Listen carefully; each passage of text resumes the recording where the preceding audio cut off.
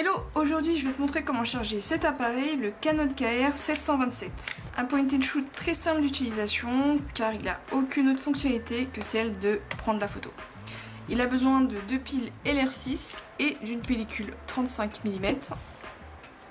Donc les piles, ça se met juste ici.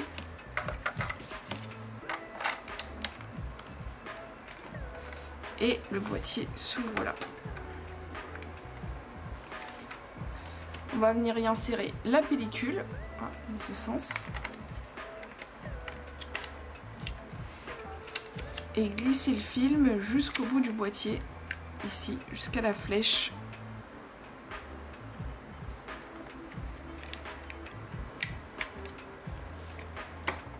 Et on referme.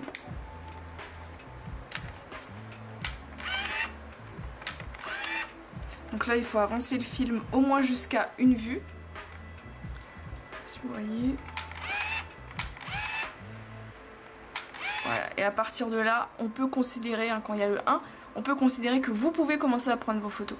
Celles d'avant seront cramées car le film était exposé à l'arrière et c'était ouvert. Donc on peut aller comme ça jusqu'à la fin de la pellicule et je vous montrerai comment le rembobiner. Ok, là on n'est pas loin des 24, pause.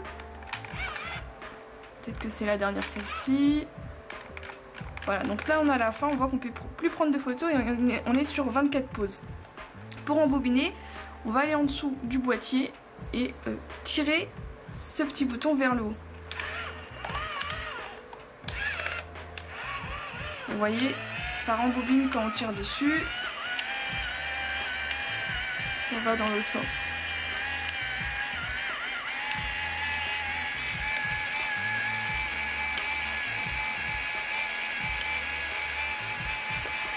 Donc on est revenu à S, tout est bon. C'est rembobiné entièrement. On peut récupérer notre pellicule pour la développer.